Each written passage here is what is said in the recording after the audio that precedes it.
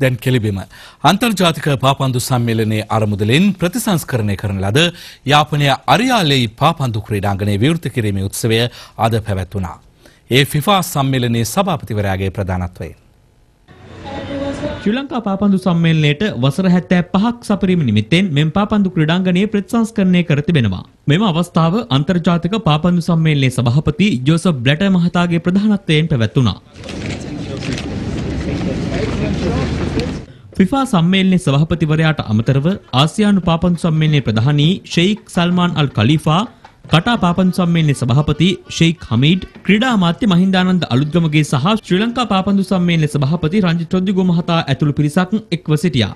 මෙහිදී යාපනය ප්‍රදේශයේ පාපන්දු ක්‍රීඩකයන් සහභාගී වූ සංදර්ශනයක්ද පැවැත්වුණා.